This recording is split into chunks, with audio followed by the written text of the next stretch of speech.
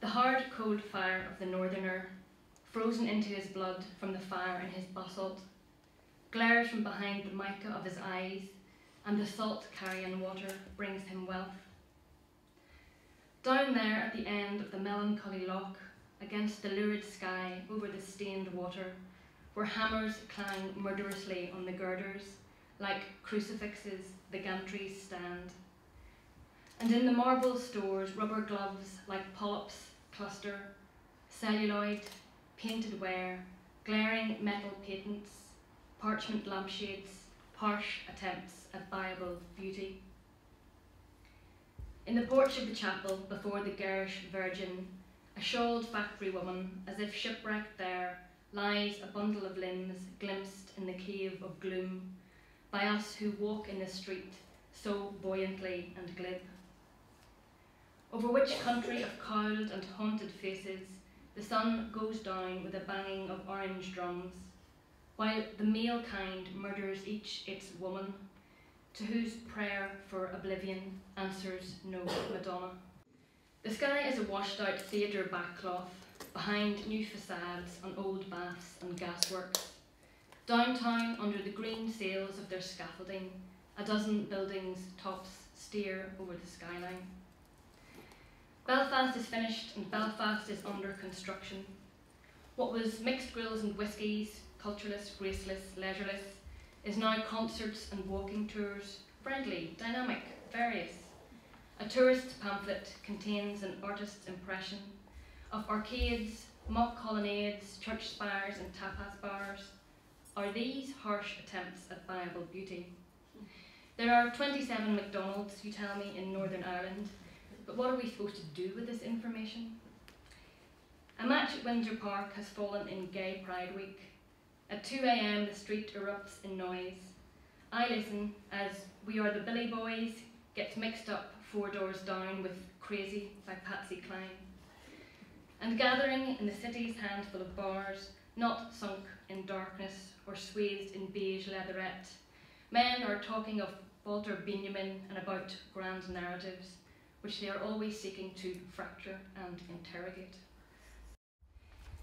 In my childhood, trees were green, and there was plenty to be seen. Come back early or never come. My father made the walls resound. He wore his collar the wrong way round. Come back early or never come. My mother wore a yellow dress. Gently, gently, gentleness. Come back early or never come. When I was five, the black dreams came. Nothing after was quite the same. Come back early or never come. The dark was talking to the dead. The lamp was dark beside my bed. Come back early or never come. When I woke, they did not care. Nobody, nobody was there. Come back early or never come. When my silent terror cried, nobody, nobody replied. Come back early or never come. I got up. The chilly sun saw me walk away alone. Come back early or never come. MacNeice's mother wore a yellow dress.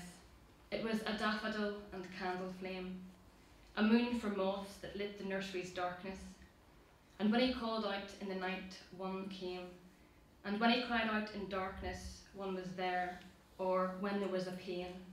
This call and answer, need being met, some longing stopped with care, became a single thing, as when together two muscles pulled together on the bone to move a limb, or rowers who midstream forgot the separate parts that each one played. That is to say, that he was not alone. When in the darkness, in a kind of dream, they talked as one, the unborn and the dead. And then mother wore a yellow dress. It was a daffodil and candle flame, a moon for moths that lit the nursery's darkness. And when he called out in the night, one came. And when he cried out in darkness, one was there, or when there was a pain. This call and answer, need being met, some longing stopped with care, became a single thing, as when together two muscles pulled together on the bone to move a limb, or rowers who midstream forgot the separate parts that each one played. That is to say, that he was not alone. When in the darkness, in a kind of dream, they talked as one, the unborn and the dead. And then I'll read somewhat, um, I love most of all MacNeice's um, later poems um, uh, from The Burning Perch, which are just really strange, um, really uncanny and all the um, spooky stuff just comes out. Uh, so um, I'm going to read the taxis and then I'll read two poems of mine, which are just weird. That's the connection. the taxis. In the first taxi, he was alone, trala, no extras on the clock. He tipped ninepence, but the cabby, while he thanked him, looked askance, as though to suggest someone had bummed a ride. In the second taxi, he was alone, trala, but the clock showed sixpence extra. He tipped according, and the cabby, from out his muffler, said, Make sure you have left nothing behind trala between you. In the third taxi, he was alone, trala, but the tip-up seats were down, and there was an extra charge of one and sixpence, and an odd scent that reminded him of a trip reminded him of a trip to Cannes. As for the fourth taxi, he was alone, trala, when he hailed it, but the cabby looked through him and said, I can't trala well take so many people, not to speak of the dog. In the first flat, up a flight of dingy stairs, there was a sunlit room in which dust danced, and half a dead bee lay by a sash window, where, we intoned withal, was the other half. Four or five boys smoked joints on the brown carpet. In the second flat, the same strained air of decay, damp on the ceiling, cigarette butts in the hearth, but someone had wistfully added a vase filled with flowers and a colourful throw as though, by an effort of will, the existence of rooms beside this one might be known. In the third flat, something had gone obscenely wrong. The plaster and paintwork were new, but a sharp smell hung near the unpacked goods in a choked alcove.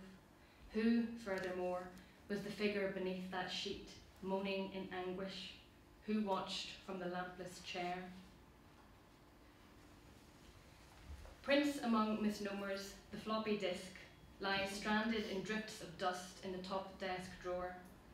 A castaway on shingly paper clips, or under an old bank statement, the small withdrawals dwindling to little, then less, then nothing at all. How young it is to be so obsolete. The stainless steel clip shines, the neat black case still sleek as a woman's suit or evening purse. I will take it between my finger and my thumb and post it with a click through the squarish slot of the oh so recent, stunningly useless past, the moment before the moment before now, whose code is lost. The words that tapped and flashed like a frantic bird against a window pane translate back to the gesture of the hand, stoled on the keys like the spirit on the water, like the shouts and groans that issue from the mine after the prop has snapped. The floppy disk is the love note still sealed in its envelope. It's the marker blank above its own strange grave. Thank you very much.